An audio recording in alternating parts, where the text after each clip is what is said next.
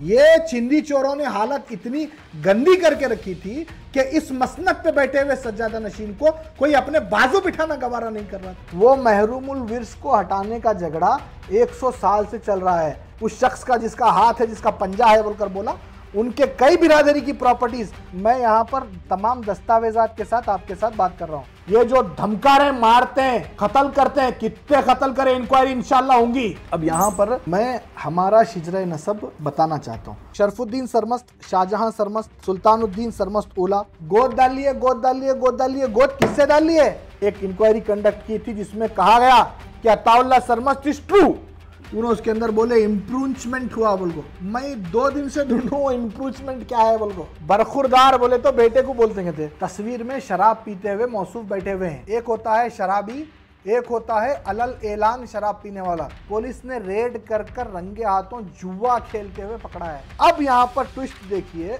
वो लोग डमरू बजा रहे हैं, उन्होंने नाचते जा रहे हैं। इन्हों औलाद से नहीं आते। पूरे फोरम्स के ऊपर हम लड़े हैं। और अल्हम्दुलिल्लाह जीते हैं। मैं मेरी चेयरमैनशिप और मेरे भाई साहब अपनी मुतवलीशिप छोड़ देंगे। सरमद साहब, जिस तरह से हाल ही में गुलबर्गा शहर में जो वक्त अदालत रखी गई थी, बीजर जमीर अहमद खान का गुलबर्गा आना हुआ, उस दौरान आपके खिलाफ उस प्रोग्राम में कई नारे वहाँ पर लगाए गए और जो यादगीर में अहमद जो दरगाह है, उस पर भी जिस तरह से आपका जो मामला चल रहा है, उसमें उसके खिलाफ भी आपके बयान आए हैं और दीगर लोग भी आपके खिलाफ कई बातें कर रहे हैं, उस पर क्या कहें? अस्सलाम वालेकुम रहमतुल्लाहि सबसे पहले तो मैं तमाम गुलबर्गा के सोशल मीडिया पर्सनस और शाहपुर के ज़रिए भी जितने सोशल मीडिया पर्सनस की तरफ़ से मैसेज आवाम तक पहुँचेगा, दिल की अमीर गहराइयों से ममनून मशहूर हूँ कि आपने अपना प्लेटफॉर्म दिया ये इतने हसास मसले को आवाम के बीच में क्लियर करने के लिए। व तो इज़्ज़ु व तो ज़िल्लु बेदिकल कैद। अल्लाह तबारक ताली जिसे चाहे इज़्ज़त दे, जिसे चाहे ज़िल्लत दे सकता है। इज़्ज़त देना और ज़िल्लत देना अल्लाह तबारक ताली के दायरे इख्तियार में है।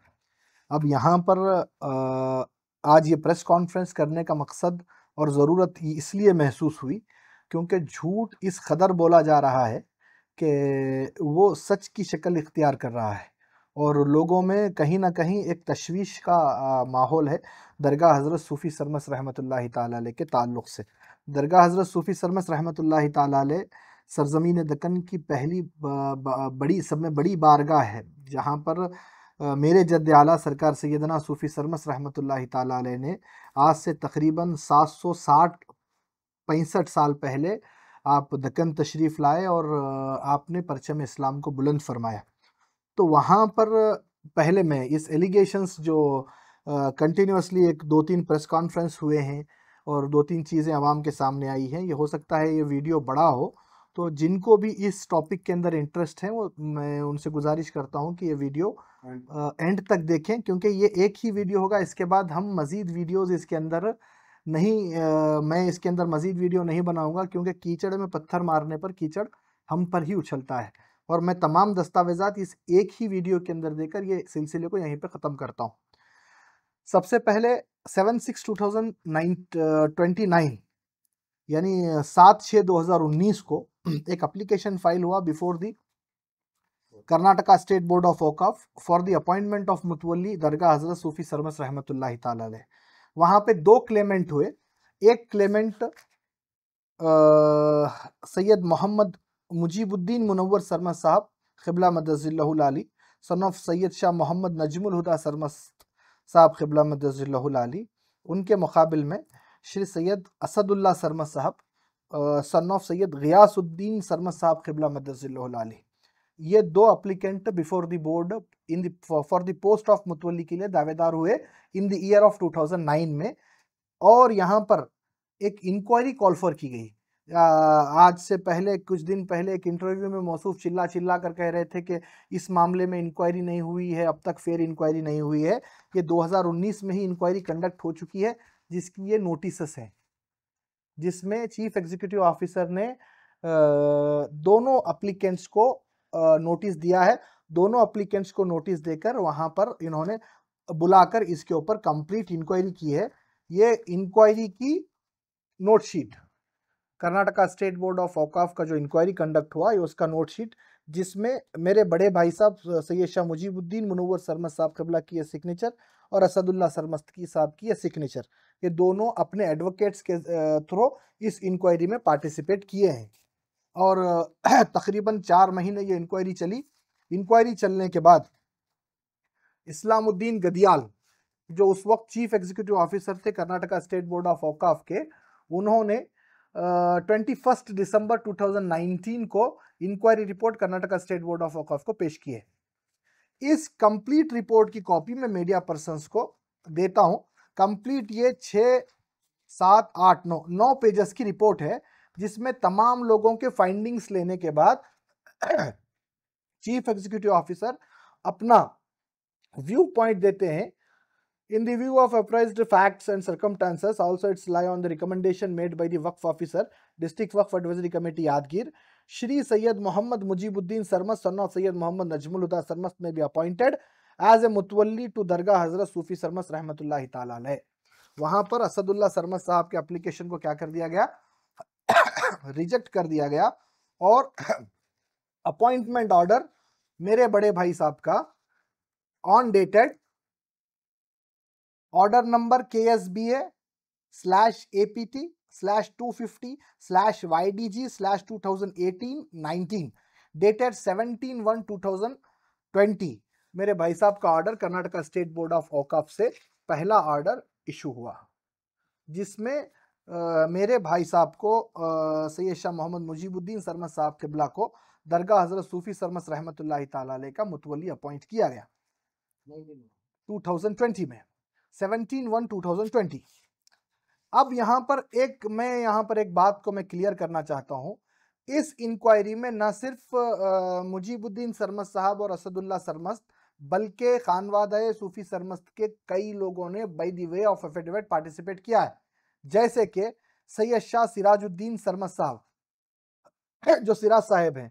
उन्होंने इंक्वायरी में before the chief executive officer एक एफिडेविट दिया था और एफिडेविट में उनका कहना था कि असदुल्ला सरमस्त जो हैं, जो वन ऑफ़ दी अप्लीकेंट थे, वो मुतवली बनने के काबिल हैं और उनके अलावा, उनका पॉइंट बता रहा हूँ मैं, सैयद सिराजुद्दीन सरमस्त साहब का पॉइंट बता रहा हूँ कि उनके अलावा कोई आदमी सज्जादा नशीनी के राइट्स को क्लेम नहीं कर सकता। इस पॉइंट पे आप थोड़ा सा गौर कीजिए कि इस एफिडेविट के अंदर क्या कहा जा रहा है। इस एफिडेविट के अंदर कहा जा रहा है कि असद उल्ला सरमस्त के अलावा कोई भी फर्द सज्जादा नशीनी के राइट्स को क्लेम नहीं कर सकता। यह सिर्फ़ अब्जल्यूट राइट है असदुल्ला सरमस्त का। यह कितने लोगों ने एफिडेविट दिया? सैयद शाह सिराजुद्दीन सरमस्त ने एफिडेविट दिया। अजीजुल्ला सरमस्त साहब जो गुलबरगा के बहुत ही बड़े सीनियर साफी हैं उन्होंने भी same affidavit before the chief executive officer during the inquiry submit किया। वो उसकी सर्टिफाइड कॉपी है। इसके साथ साथ उनके तमाम फर्जंदान ने एफिडेविट दिया। उस, उनके साथ साथ ये Syed Shah Ataullah Sarmast son of Syed Saadatullah Sarmast.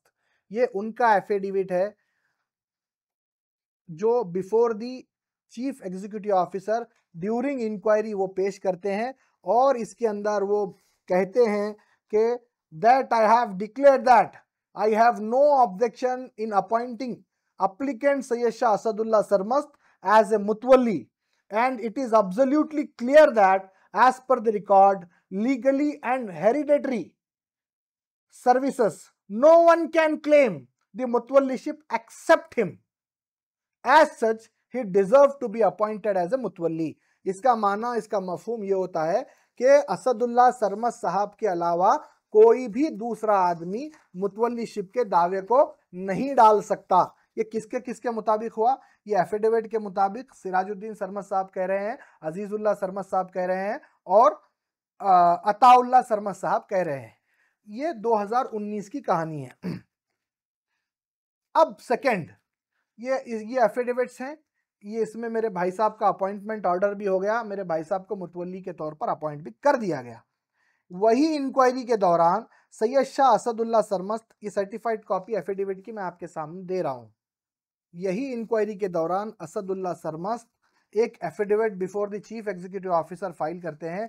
Before the chief executive officer Karnataka state board of Auqaf affidavit I am Syed Shah Asadullah Sarmast of Syed Shah Gayasuddin Sarmast that the dependent is the sajjada nashin and mutawalli of dargah Hazrat Sufi Sarmast the dependent on this affidavit to be effect that the occupancy rights under the land reforms act notified in the Gazette notification serial number 175 of the said Dargah were granted in the favor of respective tenants and the ownership has been conferred in favor of the said tenants. No lands is available in the name of Dargah on this point. यानी असदुल्ला सरमस 2019 की inquiry में before the Karnataka state board of Auqaf chief executive officer क्या कहते हैं कि अब दरगाह शरीफ के दायरा इख्तियार में कोई भी लैंड मौजूद नहीं है और बाकी नहीं है। लैंड रिफॉर्म्स एक्ट के तहत एक्यूपेंसी राइट जनरेट हो चुका है। जब यहाँ पर मेरे भाई साहब का मैं सिर्फ़ अभी सिर्फ़ असदुल्ला सरमस्त जो मेन दावेदार हैं दरगाह हज़रत सूफी सरमस्त की सज्जादा नशीनी और मुतवली शिप के मैं उनके ताल्लुक से बात कर रहा हूँ। ये हमारा ऑर्डर होने के बाद सैयद शाह असदुल्ला सरमस्त सन ऑफ़ सैयद शाह गयासुद्दीन सरमस्त ने the Waqf tribunal Karnataka Waqf tribunal Kalaburagi bench in application number seven twenty twenty एक एप्लीकेशन फ़ाइल किया। इस एप्लीकेशन में उन्होंने तीन, दो प्रेयर्स पूछे। एक, हमारा जो ऑर्डर ये जो ऑर्डर हुआ है, इस ऑर्डर को सेटिसाइड करें और उनको सज्जादा नशीन एंड हेरिडेटरी मुतवली क्या करें? डिक्लेयर करें। अब मैं आपको उनके प्रेयर्स बताता हूँ। Application number seven twenty twenty before the court of Waqf application Waqf tribunal की कलबुर्गी बेंच पे application number seven twenty twenty उन्होंने फ़ाइल किया और उसके अंदर उन्होंने प्रेयर्स क्या पूछे? पहली प्रेयर उन्होंने पूछी set aside the impose order number so and so यानी मेरे भाई साहब का जो ऑर्डर हुआ था वो ऑर्डर उसको सेटिसाइड करना है और declare the petitioner as a सज्जादा Nashin and मुतवली दरगाह हज़रत सूफी सरमस्त उन्होंने बिफोर द वक्फ ट्रिब्यूनल इसको क्या किया? दा, दावा फ़ाइल किया। ये उसका order the plaintiff called absent the petitioner is dismissed for default on 24 11 2021 24 तारीख ग्यारहवा महीना 2021 को इनका petition Karnataka state Waqf tribunal से क्या हो गया? डिसमिस हो गया। डिसमिस होने के बाद उन्होंने आज तक भी इस एप्लीकेशन को कहीं भी चैलेंज नहीं किया। है। उसके बाद 2022 में फिर से एक मरतबा वो chief executive officer Karnataka state board of Auqaf को एक एप्लीकेशन लिखते हैं। एक एप्लीकेशन लिखकर क्या कहते हैं कि मेरे को 1989 में एक डिग्री हुई थी। This is the letter addressed to the chief executive officer Karnataka state board of wakaf on dated 20th december 2022 by Syed Shah Asadullah Sarmast son of Syed Shah Gayasuddin Sarmast इस affidavit में उनका कहना यह है कि मुजीबुद्दीन सरमस साहब के किए गए ऑर्डर को इमीडिएट कैंसिल किया जाए और उनको सज्जादा नशीन और मुतवली डिक्लेयर किया जाए एज पर यहाँ पर मैं खास तौर पर इस डिग्री को बताना चाहता हूँ। As per the decree passed by the municipal court in OS number 101 of 1989 इसके तहत उन्हें सजादा नशीन एंड मुतवली डिक्लेयर किया जाए। उसकी भी सर्टिफाइड कॉपी हमने निकाली है। उनका कहना क्या है? असदुल्ला सरमस्त का कहना यह है कि मेरे को सज्जादा नशीन एंड मुतवली डिक्लेयर किया जाए। As per the decree passed in suit number 101 of 1989 वो क्या है, किधर है, कौन फ़ाइल करे, उसके अंदर इन्होंने नहीं बोले ये पूरे एप्लीकेशन के अंदर। ये पूरे एप्लीकेशन के अंदर ये डिग्री कौन फ़ाइल करे?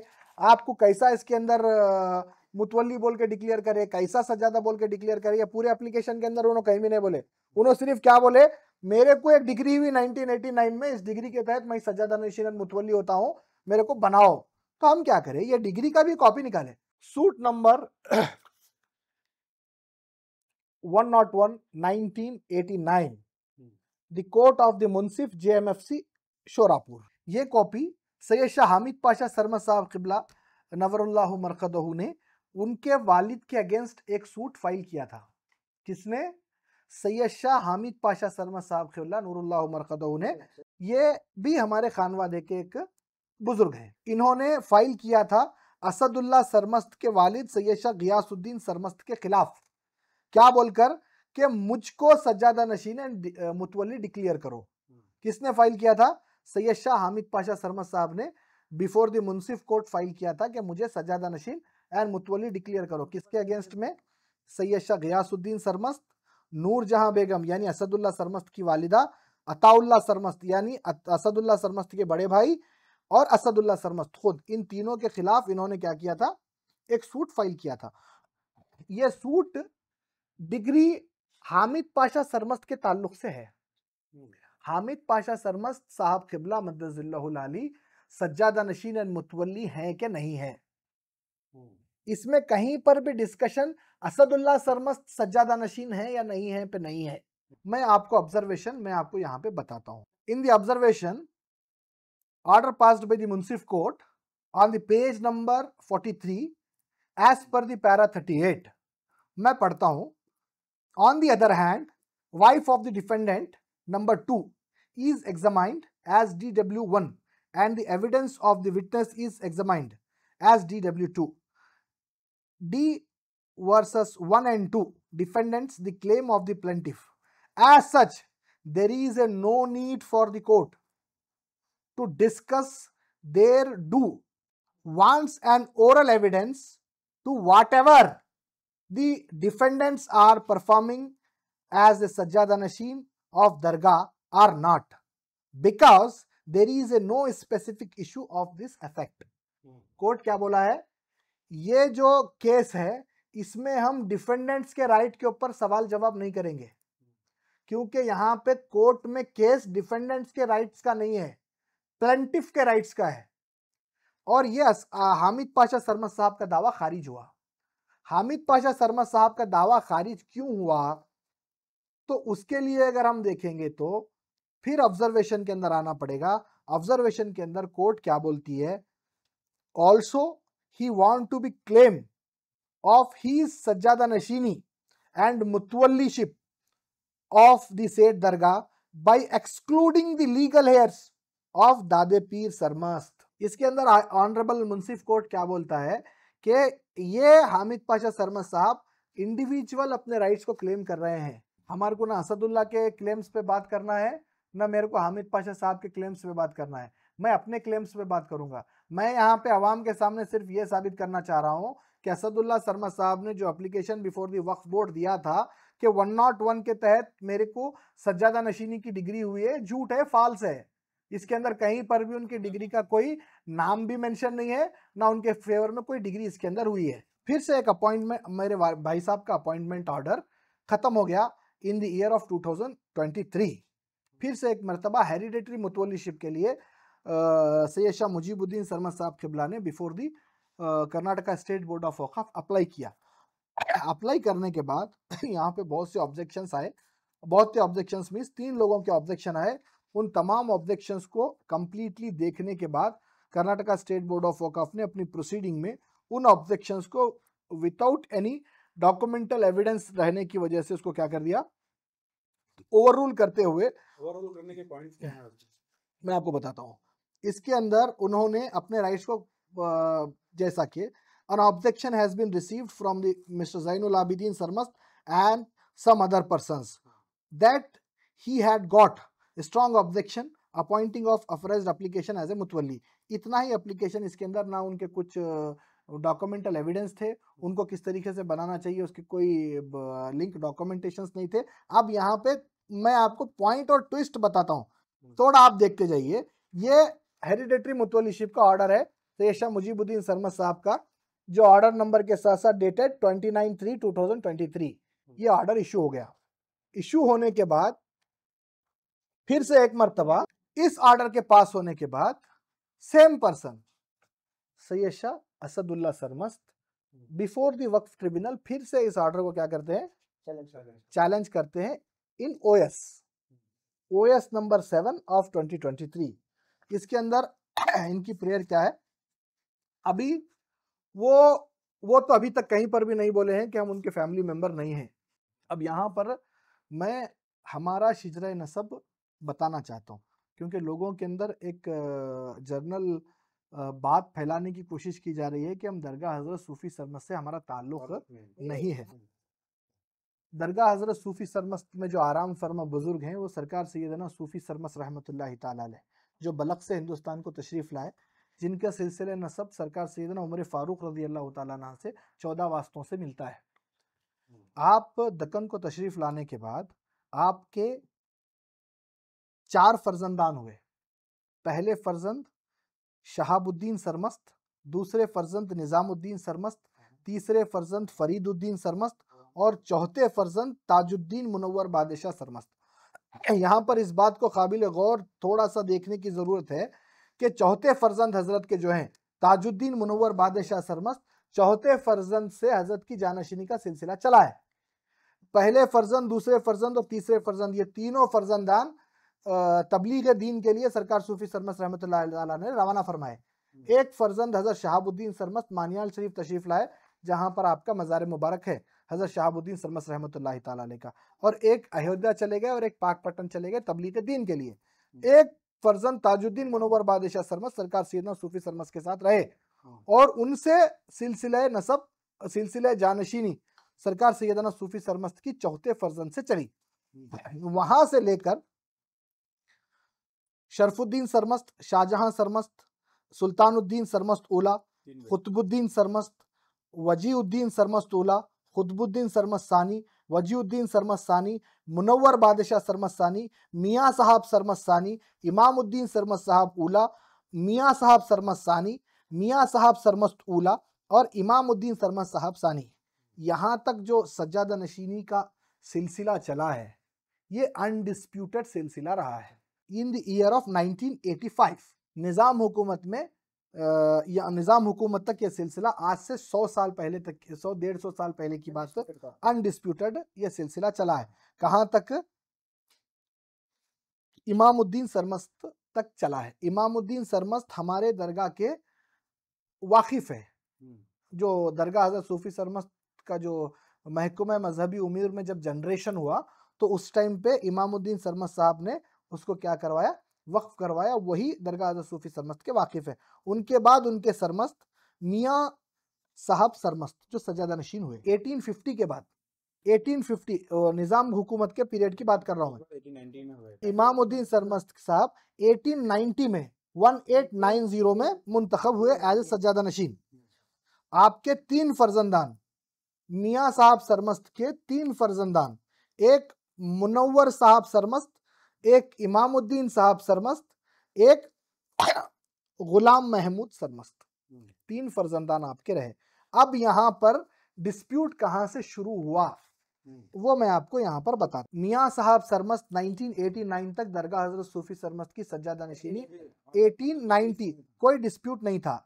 मियाँ साहब सरमस्त के तीन फर्जंदान मुनव्वर साहब सरमस्त इमामुद्दीन साहब सरमस्त और सैयद शाह गुलामुद्दीन सरमस्त यहाँ पर मियाँ साहब सरमस्त की मौजूदगी में उनके बड़े फर्जंद मुनवर साहब सरमस्त का इंतकाल हो गया। यानी बाप की हयात में बेटे का क्या हो गया? बड़े फर्जंद। बड़े फर्जंद का इंतकाल हुआ।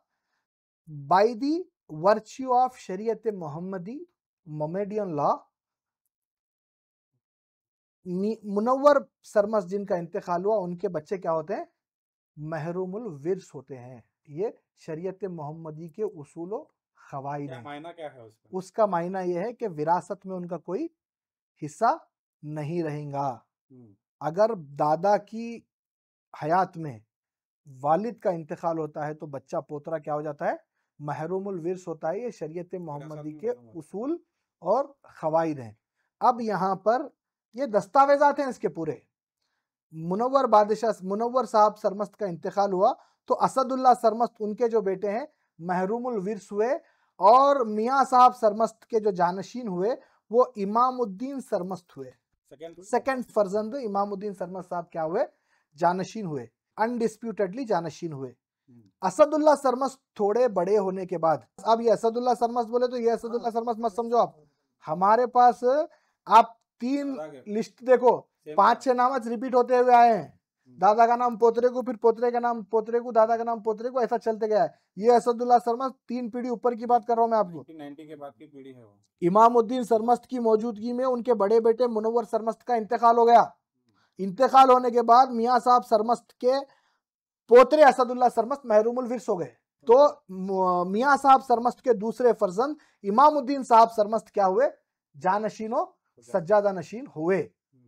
मियाँ साहब सरमस्त अब ये मुनवर सरमस्त कौन है? जिनके इंतकाल पर असदुल्ला सरमस्त महरूमुल विरस हुए। वो अगर देखेंगे तो असदुल्ला सरमस्त के दादा अब जो असदुल्ला सरमस्त है उनके पड़दादा ये असदुल्ला सरमस्त महलूमुल विर्स से जो असदुल्ला सरमस्त थे उनके पड़दादा मैं उनका शिजरा आपको भी बताता हूँ। इमामुद्दीन सरमस्त के दो फर्जंदान हुए। एक सैयद शाह मुनवर बादशाह सरमस्त और दादे पीर सरमस्त। इमामुद्दीन सरमस्त साहब को जब जानशीनी और सज्जादा नशीनी बनाया गया तो इमामुद्दीन सरमस्त साहब के दो फर्जंद एक जो फर्जंद है वो हामिद पाशा सरमस्त के वालिद उनका क्लेम और एक जो फर्जंद है दादे पीर सरमस्त वो मेरे वालिद के दादा। ठीक है? अब यहाँ पे ये दो फर्जंदान इमामुद्दीन सरमत साहब के मैं आपको बता दिया। इमामुद्दीन सरमत साहब ने अपनी जानशीनी अपने बच्चों को नहीं दी। अपने बच्चों को नहीं दिए। अपनी जानशीन खिलाफत असदुल्ला हुसैनी को उन्होंने दिए। अपने बाप के इंतकाल के बाद अगर तू महरूमुल विरस हुआ है तो मेरी खिलाफत के साथ मैं तुझे जानशीनी पे क्या करता हूँ? बिठाता हूँ। महरूम विरस होने के बावजूद भी इमामुद्दीन सरमत साहब क्या करे? असदुल्ला सरमत साहब को क्या करे? अपने बड़े भाई के बेटे को क्या करे? अपना जानशीन बनाकर अपनी खिलाफत दिए अपनी खिलाफत से गद्दी पे बिठाए। गद्दी पे बिठाने के बाद ये असदुल्ला सरमत साहब की नीयत खराब होकर ये असदुल्ला सरमस्त क्या करे? वो जो 200 एकड़ जगह दरगाह हज़रत सूफी सरमस्त की थी वो पूरी अपने नाम पे क्या कर लिया? निज़ाम हुकूमत के टाइम की बात बोल रहा हूँ आपको। उसके बाद फिर से एक मरतबा मुकदमा इमामुद्दीन सरमत साहब असदुल्ला सरमस्त पर क्या करे? डाले। मेरे परदादा के वालिद की बात कर रहा हूँ मैं। निज़ाम गवर्नमेंट में ये मुकदमा चलते आए हैं। ये मेरे को आपको बताने की वजह क्या है? ये जो झगड़ा चलते आ रहा है, ये आजकल का नहीं है। ये 100 साल पुराना डिस्प्यूट है। जो महरूमुल विर्स हो चुके थे, वो महरूमुल विर्स को हटाने का झगड़ा 100 साल से चल रहा है। महरूमुल विर्स होने के बावजूद भी, जो उस अहदे पर फाइज होकर वहाँ पर अपने इख्तियार को जमाने की कोशिश कर रहे थे। वो झगड़ा मेरे पड़दादा से चलते हुए दादे पीर सरमत साहब तक आया। दादे पीर सरमत साहब के बाद मेरे दादा यूसुफुद्दीन सरमत साहब तक आया। यूसुफुद्दीन सरमत साहब के बाद मेरे वालिद साहब, मेरे वालिद साहब के बाद हम तक आया। और अल्हम्दुलिल्लाह, आज ये सौ साल का झगड़ा खत्म होकर legally we are appointed by the Karnataka state board of Auqaf ये तो मैं आपको शिजरे से बता दिया। ये शिजरे से बताने के बाद ये same शिजरा this is the application OS number 17 filed by the Asadullah Sarmas before the Karnataka State Board of Wakaf. इस एप्लीकेशन के पहले पेज पर असदुल्ला सरमत साहब ने अपना सिलसिला नसब शाया किया है। सिलसिला नसब के अंदर असदुल्ला सरमत साहब वही इमामुद्दीन सरमत साहब वाकिफ का नाम ले रहे हैं। मैंने जो बोला निज़ाम सरकार में जो वाकिफ बने। सैयद इमामुद्दीन सरमत सज्जादा नशीन एंड मुतवली उनके बाद सैयद महमूद सूफी सरमस मियाँ साहब सरमस जिनका नाम मैंने लिया, वो उसके बाद इनके एक फर्जंद हुए इमामुद्दीन सरमस्त, एक फर्जंद हुए मुनवर सरमस्त, जो महरूमुल विरस हुए असदुल्ला सरमस्त के मरने के बाद उनके बेटे। वो लिस्ट अपने ही शिजरे के अंदर, अपने ही शिजरे के अंदर असदुल्ला सरमस्त ने मेरे दादा का नाम, सैयद यूसुफ उद्दीन सरमस्त, ब्रैकेट में grand father of the defendant number 2. It is the family tree produced by this Asadullah Sarmas before the Karnataka State Board of Wakaf. ये उन्होंने क्या बोल रहे हैं? यही शिजरे से Syed Shah Yusufuddin Sarmast grand father of the defendant number two defendant number two कौन है? मोहम्मद मुजीबुद्दीन सरमस्त। भाई। मेरे भाई साहब। मेरे को मेरा शिजरा नसब साबित करने की ज़रूरत ना कहीं पर है ना कहीं पर होगी। बट जो आवाम के बीच में जो माहौल पैदा करने की कोशिश की जा रही है मैं यहाँ पर तमाम दस्तावेजात के साथ आपके साथ बात कर रहा हूँ। ये ख़त्म हुआ। ये एप्लीकेशन नंबर 17 2024 जिसमें मेरे भाई साहब के हेरिडेटरी ऑर्डर को चैलेंज किया गया था, वो Karnataka state board of Auqaf ने on dated tenth day of January 2024 first January 2024 को क्या कर दिया? रिजेक्ट कर दिया। डिसमिस कर दिया। डिसमिस करके बोला कि आपका जो दावा है वो काबिल समात नहीं है।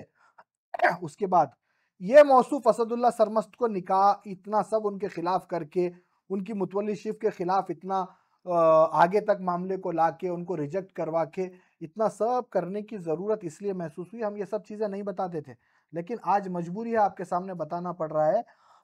ये शख्स, जिसके साथ आज गुलबर्गा की एक अहले सुन्नत ऑर्गेनाइजेशन में सरगर्म कारकुन का, किरदार निभाने वाले एक शख्स का हाथ है उसका पंजा है।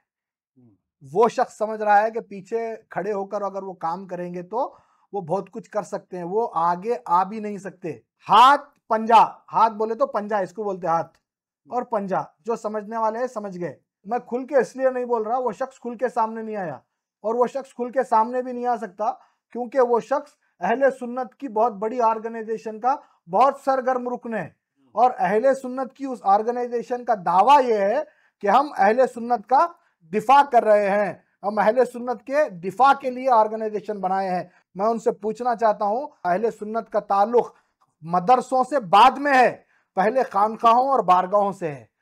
और आप ही की ऑर्गेनाइजेशन का एक ऐसा आदमी जो अपने आप को बहुत ही सरगर्म रुकन कहता है, वो ऐसे आदमी को दकन की सब में बड़ी बारगाह का सज्जादा नशीन बनाने पे कोशिशें कर रहा है। ये उस शख्स की हालत है। फ़ोटो में तस्वीर में क्या नज़र आ रहा है? तस्वीर में शराब पीते हुए मौसूफ बैठे हुए हैं। ये बहुत पुरानी है। ये मैं आपको दो दिन पहले की वीडियो। वीडियो आपके सामने मैं प्ले कर रहा हूँ। हम्म। एक होता है शराबी एक होता है अलल एलान शराब पीने वाला। ये शख्स अलल एलान शराब पीने वाला आदमी है। और इसको क्या दरगाह हज़रत सूफी सरमस्त इतनी बड़ी बारगाह की मसनत पे बिठाया जा सकता है। न सिर्फ़ शराब की आदत है बल्कि इस शख्स को 2021 में पुलिस ने रेड कर कर रंगे हाथों जुआ खेलते हुए पकड़ा है। ये उसका एफआईआर और उसकी चार्जशीट का कॉपी है।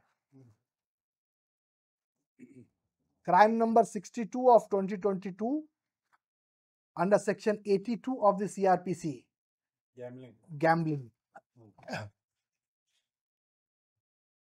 Asad Baba तंदे गयासुद्दीन सरमस्त वयस 35 वर्ष जाति मुस्लिम बिज़नेस कूली कामगारू ये मौसूफ इस तरीके की हरकतों के अंदर मुलविस हैं। अब अहले सुन्नत के गुलबरगा के जिम्मेदारान इस बात का नोट लें। क्या ऐसे आदमी को दरगाह हज़रत सूफी सरमस्त की सज्जादा नशीनी पर और मुतवलिशिप पर फाइज किया जा सकता है क्या? और इन ऑर्गेनाइजेशंस के ज़रिए ऐसे आदमियों को चंदा देने वाले ज़रूर एक मरतबा तहकीक कर लें कि आपके चंदे की, क्या आपके पैसों की मदरसे कायम करने के नाम पर या फिर स्कूल चलाने के नाम पर इस तरीके के जुआरियों और शराबियों को मसनत पर बिठाने के लिए लीगल एड के अंदर कहीं इसका इस्तेमाल तो नहीं किया जा रहा है। मैं इस ऑर्गेनाइजेशन के जिम्मेदारान से भी दिल की अमीर गहराइयों से गुजारिश करता हूँ कि ऐसी हरकतों की वजह से आपकी ऑर्गेनाइजेशन का नाम पूरी तरीके से खराब हो रहा है और आपके ऑर्गेनाइजेशन का जो कॉन्सेप्ट है, जो एम है जो मेन जो उसका थीम है तहफ़ अहल सुन्नत का उसके ऊपर बहुत बड़ा सवालिया निशान। नाम तो नहीं बता रहे वजह क्या है? आप इतने सालों के बाद जो जो मसला आपका चल रहा है उसमें इनका इन्वॉल्वमेंट होना इस तरह से आ, उनका सपोर्ट करना मैं मैं इशारतन मैं इशारतन उनको अपनी जबान बता चुका हूँ। अगर वो खुल के सामने आते हैं हम्म। तो मैं खुल के उनके खिलाफ इनशाला बयान दूँगा। उन्होंने सिर्फ़ कहाँ इस्तेमाल हो रहे हैं? जो लोगों को हमसे बुक्स है। पर्टिकुलरली मुझसे बुक्स है, वो लोग डमरू बजा रहे हैं उन्होंने नाचते जा रहे हैं। ठीक है? अभी ये खत्म हो गया, ये चैप्टर असदुल्ला सरमस्त की कहानी आपको समझ में आ गई। अब यहाँ पर ट्विस्ट देखिए। हमारा ऑर्डर हुआ 2019 में। तो उसके खिलाफ पहला एफिडेविट कौन दिए थे? जाकिर शर्मा साहब दिए थे, अताउल्ला शर्मा साहब एफिडेविट दिए थे। जो परसों एक प्रेस कॉन्फ्रेंस करके, क्या बोले, बहुत इल्ज़ाम उन्होंने हमारे ऊपर लगाए। उन्होंने अपनी के वो इंक्वायरी के अंदर एक एफिडेविट दे के क्या बोले थे कि असदुल्ला सरमस्त के अलावा कोई भी सज्जा दानशीनी के दावे को क्या कर सकता है? नहीं फ़ाइल कर सकता है अब्सोल्यूट राइट है असदुल्ला सरमस्त साहब का। हमारा ऑर्डर होने के बाद कंटिन्यूसली असदुल्ला सरमत साहब के लिटिगेशन चलते रहे। उनके साथ साथ जाकिर सरमत साहब ताउल्ला सरमस्त के लिटिगेशन भी चलते रहे। उन्होंने पहली कंप्लेंट 2020 में एसपी यादगिर को की। उसमें उन्होंने ये कहा कि दरगाह हज़रत सूफी सरमस्त को मुतवली साहब ने वायलेशन किया है लॉकडाउन का। और वायलेशन कर कर उन्होंने लॉकडाउन को क्या किया है? पामाल किया है। वहाँ पर इंक्वायरी कंडक्ट हुआ। इंक्वायरी कंडक्ट होने के बाद तहसीलदार साहब का ये ऑर्डर सामने आया, जिसमें दरगाह हज़रत सूफी सरमस ने लॉकडाउन में उर्स के तमाम मरासिमात को ख़त्म करते हुए कैंसिल करते हुए, तहसीलदार साहब से स्पेशल परमिशन लेके 20 लोगों की मौजूदगी में सीपीआई की निगरानी में उर्स शरीफ को कंडक्ट किया था। यहाँ पर इन्हें हिम्बरगा पुलिस स्टेशन से दे दिया गया। ये बार बार कह रहे हैं कि हमारे लिए इंक्वायरी नहीं हुई इंक्वायरी नहीं हुई। उन्होंने सेम कंप्लेंट 2021 में before the chief executive officer file की थी और उन्होंने कहा था कि मुतवली ने खबरस्तान की ज़मीन पे कॉम्प्लेक्स बनाया है, दुकानें बनाई हैं और जगह कब्ज़ा की है। ये तमाम कंप्लेंट्स के ऊपर यूसुफ साहब, जो एक प्राइवेट चैनल पर जिन्होंने एक दो दिन पहले एक इंटरव्यू दिया इंटरव्यू दे के ये कह रहे हैं कि यूसुफ साहब ने एक इंक्वायरी कंडक्ट की थी, जिसमें कहा गया कि अताउल्ला शर्मा इज़ ट्रू मैं वही इंक्वायरी रिपोर्ट का सर्टिफाइड कॉपी आपके सामने पेश कर रहा हूँ। ये certified copy chief executive officer Karnataka state board of Auqaf ने इशू किया है। इस इंक्वायरी रिपोर्ट में मेरे को एक जगह बता दीजिए कि अताउल्ला सरमस्त ट्रू का लफ्ज इस्तेमाल किया गया। यहाँ पर ये ये ये जो रिपोर्ट के बारे में आप ताल्लुक से बात कर रहे हैं यहाँ पर आपके ऊपर ये इल्ज़ाम लगाया जा रहा है कि वक्फ बोर्ड में आपकी काफ़ी सारी पहचान है। आप आप वक्त के आप वक्त चेयरमैन है गुलबर्गा के। आप अपने तवक़ात इस्तेमाल करके इस तरह से फैसले वहाँ पर एसपी ने इंडोसमेंट दिया है। यहाँ पर किसकी पहचान है? कर्नाटका स्टेट वक्फ ट्रिब्यूनल ने तीन एप्लीकेशन को रिजेक्ट किया है। यहाँ पर किसकी पहचान है? आगे कौन से कौन से कोर्टों के अंदर क्या क्या क्लेम रिजेक्ट हुए मैं बताता हूँ। वहाँ पर किसका इन्फ्लुएंस है आप मुझे बताइए। इस रिपोर्ट के अंदर कहा गया है further it is submitted to the state during my visit on the date of 6 3 2021 it is found that dargah is under the management of present mutwali janab sayyid mujibuddin sarmast and is found clean. Condition. Regularly the duties are visiting the said dargah. During our visit we found other community peoples. Those are residing of surrounding villages. They explained that their feeling and says the person says that the present mutwalli is a very well gentleman under his mutwalliship lot of development work has been done ये report Yusuf साहब के period में Karnataka state board of Auqaf को CO के direction पर वक्फ officer ने क्या की थी? भेजी थी। जिसके इंक्वायरी के बाद, इस इंक्वायरी में अताउल्ला शर्मा साहब भी दरगाह शरीफ के प्रमाइस के अंदर मौजूद थे। इस इंक्वायरी में सैयद शाह मुजीबुद्दीन शर्मा साहब भी मौजूद थे। यहाँ पर देखिए, it is submitted that as per the direction of Honorable so and so Dargah Sufi inquiry before आज Syed Ataullah Sarmast Syed Mujibuddin Sarmast and duties ये लोग इसके अंदर मौजूद थे इनके प्रेजेंस में इंक्वायरी कहीं भी नहीं है। ये उनका इंडोसमेंट है। ये इंडोसमेंट में क्या कहा जा रहा है? As per your complaint cited reference number one the Waqf officer has submitted the final report factual report by the inspecting the spot where you have also present the copy of the same is enclosed based on the report your complaint has disposed of. यानी देखिए देखिए आप इस तरह से बता रहे हैं कि कहीं भी मेंशन नहीं है। अगर वो कहीं फिर से अगर ये दावा करें मैं मेरी चेयरमैन मैं मेरी चेयरमैनशिप और मेरे भाई साहब अपनी मुतवलीशिप छोड़ देंगे। अगर वो बताएँगे तो। बताएँगे तो। सेकेंडली ये कंप्लेंट्स वो कंटिन्यूसली करते गए। उसके बाद अब यहाँ पर इंटरेस्टिंग फैक्ट मैं आपको बताता हूँ। उसके बाद अताउल्ला शर्मा साहब ने एक complaint before the court file किया private complaint private complaint file करके वो क्या कहते हैं? जो केस बी फाइनल हुआ। बी फाइनल हुआ। सैयद अताउल्ला सरमस तंदे सैयद शाह सादतुल्ला सरमस सज्जादा नशीन। बिफोर द कोर्ट अपने आप को क्या प्रोड्यूस कर रहे हैं वो? सज्जादा नशीन। 2019 में उन्होंने क्या किया था? सज्जादा नशीन कौन है? असदुल्ला सरमस्त हैं। 2021 में इमीडिएटली सज्जादा नशीन को 22 में इमीडिएटली सज्जादा नशीन कौन हो गए। असद अताउल्ला शर्मा साहब खुद सज्जादा नशीन हो गए। ये केस में बी फाइनल रिपोर्ट हुई। बी फाइनल फ़ाइल किया गया। इस इस केस को हॉनरेबल हाई, हॉनरेबल कोर्ट ने, शाहपुर कोर्ट ने क्या कर दिया? डिसमिस कर दिया। यहाँ किसका इन्फ्लुएंस है? ये बोल सकते हैं बोर्ड में इन्फ्लुएंस है, कोर्ट में इन्फ्लुएंस है। अगर ये बोलेंगे तो कंटेम्प्ट ऑफ़ कोर्ट होगा। इस केस के अंदर हमने वकील तक नहीं रखा है। तो इस केस के अंदर बी फाइनल फ़ाइल हुआ और ये केस क्या हो गया? रिजेक्ट हो गया। उसके बाद वो वो एक चीज़ कंटिन्यूसली बोल रहे हैं। Survey number 191 bar 9 Najmul Huda Sarmad Sahab ने परचेज किया। This is the mutation copy this is the present ROR of survey number 191 bar 9 dargah Hazrat Sufi Sarmast 26 guntas this is the letter issued by the chief executive officer, वही chief executive officer जिनका नाम वो बार बार ले रहे हैं, यूसुफ साहब। यूसुफ साहब ने इस लेटर के अंदर अप्रिशिएट किया है। Mutawalli and family of mutawalli को कि आपने बहुत ही सराहनीय काम किया है। ये डॉक्यूमेंशियल एविडेंस आपके सामने पेश कर रहा हूँ। On dated two ten twenty twenty ये हुआ। अब इसके बाद 2019 में अताउल्ला सरमद साहब की नज़र में असदुल्ला सरमद सज्जादा थे। 2021 में अताउल्ला सरमद साहब खुद सज्जादा नशीन बोलकर कोर्ट में साबित करने के लिए कोशिश किए। 2023 में अताउल्ला सरमस्त के भाई, before the Waqf tribunal application सगे भाई, पूरी ड्राफ्टिंग उन्होंने फिर के करे, वकीलों को अताउल्ला सरमद साबित लेको फिर केस में। वो केस के अंदर ओएस एप्लीकेशन नंबर 19 ऑफ़ 2023 के अंदर इन्हों क्या करते हैं? एक दावा फ़ाइल करते हैं, जिसमें सैयद शाह जैनुल आबिदीन सरमस्त सैयद शाह सादतुल्ला सरमस्त ऑक्यूपेशन मुतवली एंड सज्जादा नशीन। अब यहाँ पे कौन मुतवली हो गए? सज्जादा नशीन हो गए? अताउल्ला सरमस्त के भाई क्या हो गए? सज्जादा नशीन हो गए। ये एफिडेविट के अंदर उनके भाई भी क्या करते हैं? बोलते हैं, दरगाह की कोई प्रॉपर्टी बाकी नहीं रह गई। तो फिर इम्प्रूवमेंट कहाँ हुआ सब?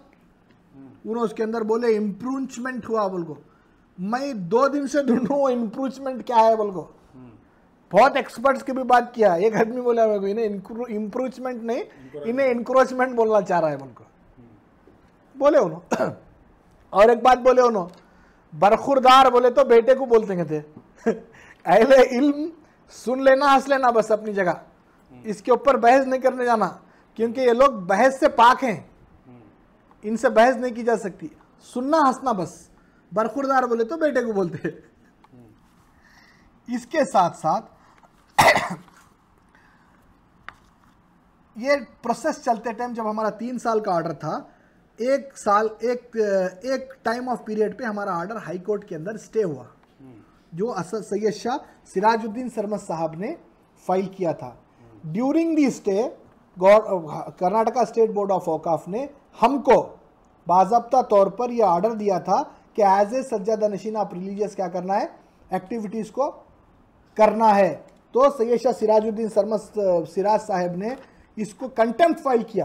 Contempt number C C C number two double zero one four seven of two thousand twenty two इसमें honourable high court double bench ने अपने ऑब्जर्वेशन के अंदर हमारी सज्जा नशीनी के राइट्स को कंसिडर किया है।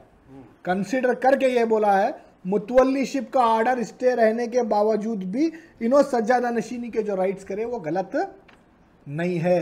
ये honourable high court has considers our rights as a सज्जादा Nashin double bench की मैं बात कर रहा हूँ सिंगल बेंच की बात नहीं कर रहा। उसके बाद सैयद शाह अजीजुल्ला सरमद साहब एक हैं हमारे पास। उन्होंने भी 2019 में सीनियर सहाफ़ी उन्होंने भी 2019 में एफिडेविट फ़ाइल करे थे कि असदुल्ला सरमस्त के अलावा कोई भी सज्जादा नशीन नहीं बन सकता।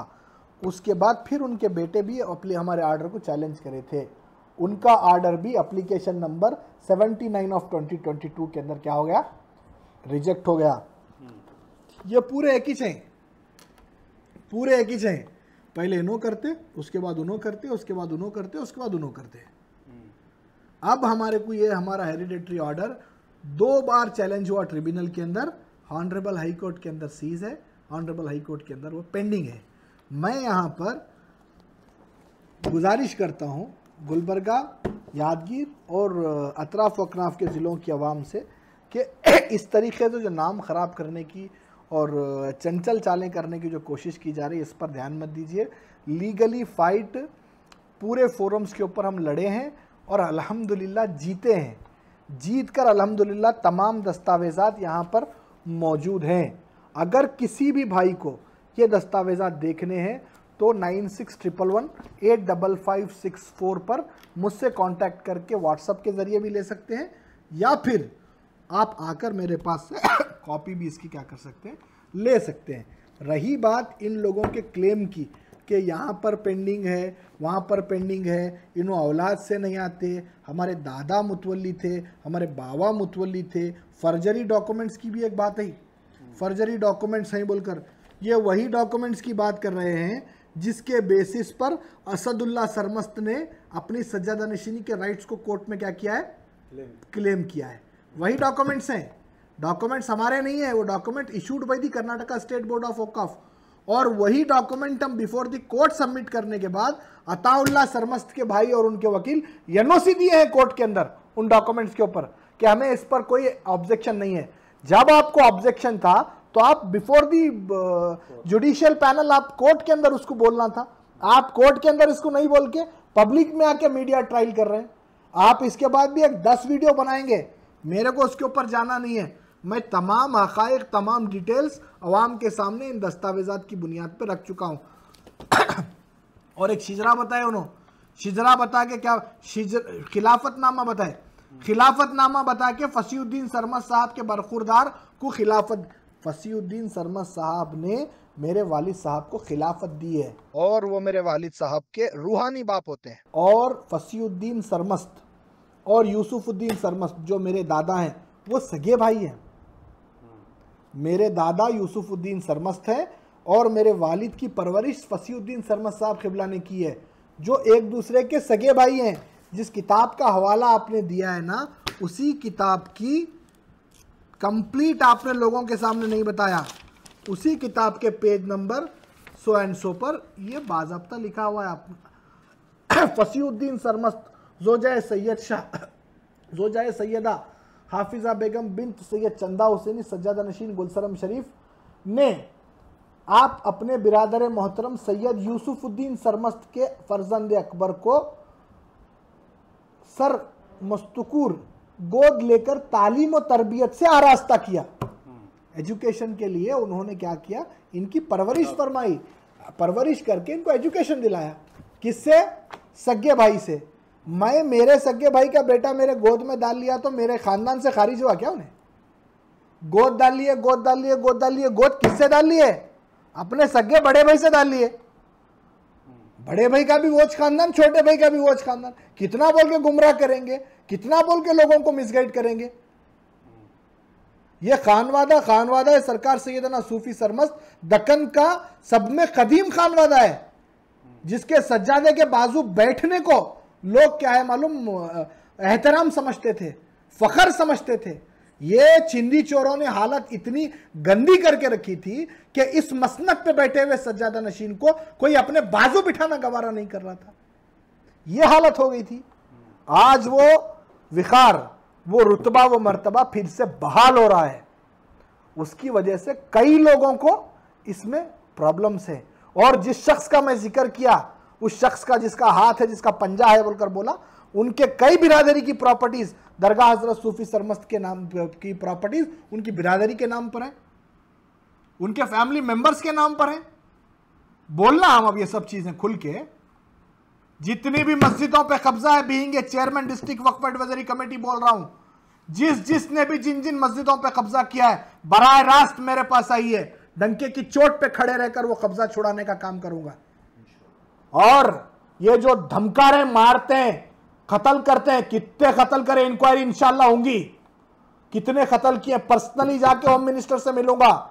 मिलकर रिप्रेजेंटेशन दूँगा कि कौन कितने कत्ल किया है, उसकी तहकीकात होनी चाहिए। और ये जो एपिसोड परसों किया गया, जितने भी उलमा इकराम अहले सुन्नतुल जमात के, चाहे वो जामिया अशरफ मुबारकपुर के हों, क्या वो बरेली शरीफ के हों, गुलबर्गा जब भी आएँगे, उनसे मैं खुद सवाल करूँगा कि ऐसे शराबी ऐसे जुआरी का साथ देने वालों पर शरीयत का क्या हुक्म है? हम भी आकर प्रोग्राम में सवाल करेंगे इनशाला ये तमाम क्लैरिफिकेशन आपके पास देने के बाद अगर इसके बावजूद भी किसी को कुछ पूछना है तो बराह रास्त आ सकते हैं, बराह रास्त मिल सकते हैं, बराह रास्त पूछ सकते हैं। इसके बाद इस टॉपिक पर मेरी कोई दूसरी प्रेस कॉन्फ्रेंस इंशाल्लाह नहीं होगी। वालेकुम रहमतुल्लाहि वरकatuh